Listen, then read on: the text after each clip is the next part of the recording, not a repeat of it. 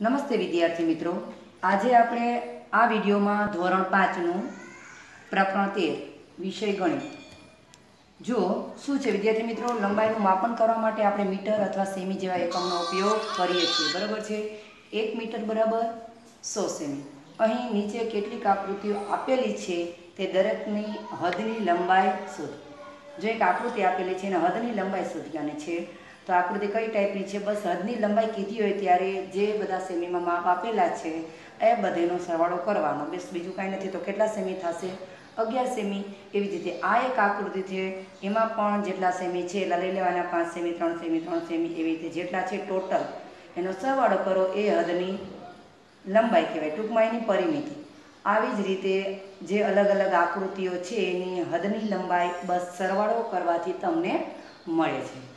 હવે ત્યાર પછીનો નેક્સ્ટ સવાલ છે, રંગ પૂરેલ આકૃતિમાં કેટલા ચોરસ ખાના સમાયેલા છે તે ગણો. તો રંગ પૂરેલ આકૃતિમાં કેટલા ચોરસ ખાના સમાયેલ? બસ તમારે રંગ પૂરેલા ખાના ગણવાના. તો પેલી આકૃતિમાં તેર છે, બીજીમાં સાત છે, તમને ગણતા તો વ્યવસ્થિત એ તો આવડે જ છે. પહેલાં બીજા ધોરણવાળાને પણ આવડે આવું તો. આવી જ રીતે આમાં સાત છે, આમાં એકવીસ છે. હવે પ્રવૃત્તિ દોરીની મદદથી નીચે આપેલા આકારના હદની લંબાઈ શોધો તથા તે આકારના કેટલા ચોરસ સમાય તે તમારે ગણતરી કરવાની છે. બસ આવી રીતે. હવે એક આકૃતિ છે, જુઓ. જોઈ?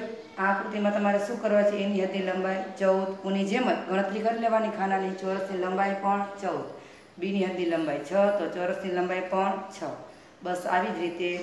અને આ આકારમાં છેલ્લો સવાલ એમ પૂછ્યો કે આકારમાં સૌથી ઓછો ચોરસ સમાયેલા છે? તો આકાર બી અને આકાર ઈમાં. હવે ત્યાર પછીનો સવાલ નીચે આપેલ આકૃતિમાં દર્શાવ્યા મુજબનો ભાગ કાપતા બાકી રહેલ આકૃતિની હદની લંબાઈ શોધો. જો આમાં શું છે? આડા પણ ચાર છે અને ઊભા પણ ચાર છે. અને લંબાઈ પહોળાઈ સરખી છે ત્યાં તમને ખબર પડે કે આ ચોરસ છે, તો હદની લંબાઈ ચાર ગુણ્યા લંબાઈ, બરાબર છે? તો ચોરસની પરિમિતિનું સૂત્ર લગાવવાનું ચાર ગુણ્યા ચાર, ચોકે ચોકે સોળ.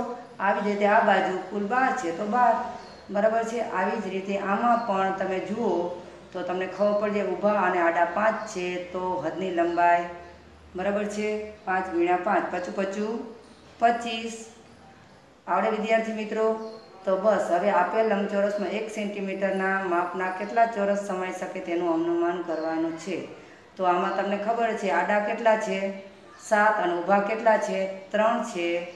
તો તમારું અનુમાન કરી શકો. તમે સાત તેરી એકવીસ.